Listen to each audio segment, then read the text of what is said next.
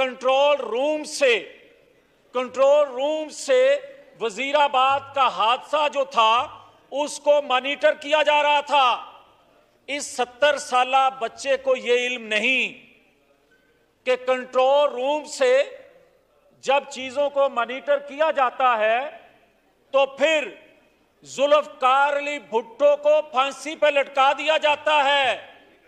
जब control room से monitor किया जाता है तो नवाज़ शरीफ को त्यारा हाईजैकर बनाकर साबित कर कर सजा सुना दी जाती है। जब कंट्रोल रूम से मॉनिटर किया जाता है तो बेटे को तनख्वाह ना लेने पर नवाज़ शरीफ को ताहयात नाहल कर दिया जाता है। जब कंट्रोल रूम से मॉनिटर किया जाता है तो जनाब एक रुपए की करप्शन साबित ना भी हो तो 18-20 साल के नौजवानों के जहनों में ये चीज़ बैठा दी जाती है कि ये चोर है, ये डाकू है, ये लुटेरा है। मगर 70 साल के बच्चे को ये इल्म नहीं।